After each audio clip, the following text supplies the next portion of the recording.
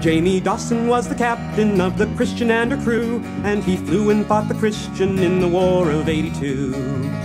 Now the Christian was the tightest ship between here and Charlemagne, and the crew of Jayme Dawson was the same. On patrol in Sector 7, keeping watch on Barber's sun, they were jumped by three light cruisers, though they weren't a match for one. As they came to general quarters and they sent out the alarm, Dawson's crew was sure they'd finally bought the farm. No one living saw that battle, though the fleet was quick to leave. When they reached the site, they found a scene no sane man could believe.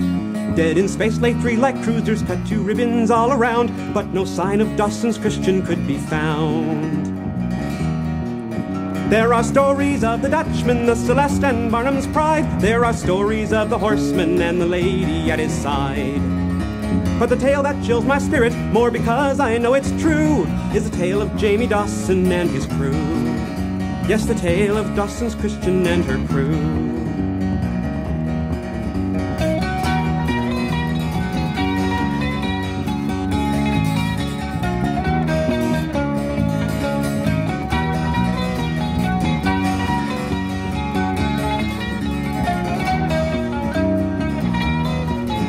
I was second mate on Hera's Dream, a freighter of the line. We were shipping precious metals to the colony on Nine. It was on the second watch of a most uneventful flight when the pirate ships appeared out of the night.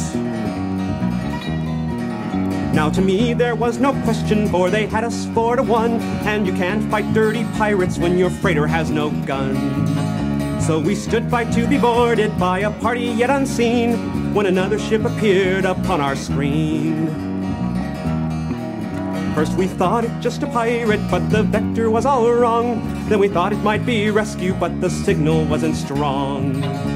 When it didn't answer hailing, we all felt an unknown dread. Then we saw our shields were up and glowing red. Now the courage of that single ship is shown by very few, but we never knew a ship could fly the way the stranger flew.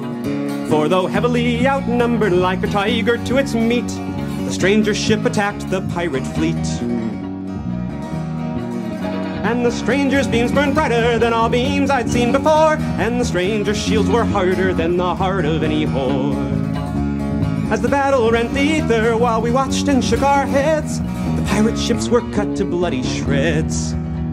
The pirate ships were cut to bloody shreds. Just as quickly as it started, then the fighting was all done. For the pirate ships were beaten and the stranger ship had won. As we strained to see the victor, for we all were filled with awe, she dropped her shields and this is what we saw. There were 30 holes clear through her and a gash along one side, and we knew that when it happened, no one on her hadn't died. For the markings all said Christian, deep inside us each one knew 'twas the tomb of Jayme Dawson and his crew. Now instead of flying off, the Christian then began to fade. First the hull and then the bulkheads as we trembled there afraid. For as the Christian disappeared, the last to slip from view were the bones of Jayme Dawson and his crew. Yes, the bones of Jayme Dawson and his crew.